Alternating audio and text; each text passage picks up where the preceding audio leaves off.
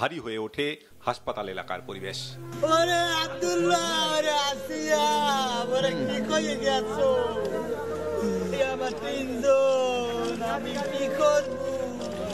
বরগুনা জেলা প্রশাসক মোহাম্মদ হাবিবুর রহমান জানান লঞ্চ দুর্ঘটনায় তেত্রিশ জনের লাশ তাদের কাছে হস্তান্তর করা হয়।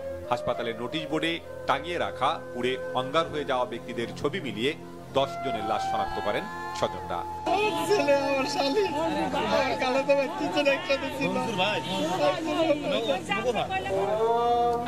পরে বরগুনা সার্কিট হাউসে জানাজা শেষে উটকাখালী আবাসনের একুশ কাপড়ে দাফন করা হয় পরিচয়হীন তেইশ জনকে।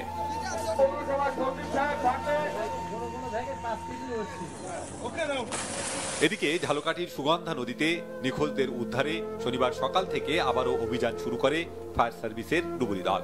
প্রিয়জনদের ফিরে পাওয়ার আশায় রাতভর নদীর কাছেই ছিলেন অনেকের স্বজন।